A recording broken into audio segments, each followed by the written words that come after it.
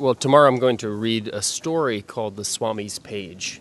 And uh, the page actually refers to his Facebook page. Yeah. And um, it's a story about um, sort of finding, I think, looking for enlightenment and new part, avenues of life via Facebook. But it's also about a marriage that's in, in great trouble. So that's what. che la, la storia che il racconto che legge domani ha a che fare con una pagina di Facebook. È una pagina che è dedicata. Mi sentite? Vabbè, ah sì.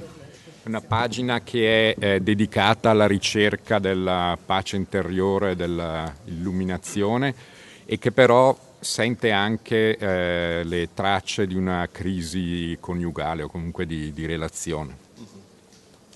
And wha- what is called Swami? The Swami's Page. You know, Sì, Swami's like a guru. sì, sì, la, la- la pagina dello Swami, come Swavi Vivekananda. Exactly.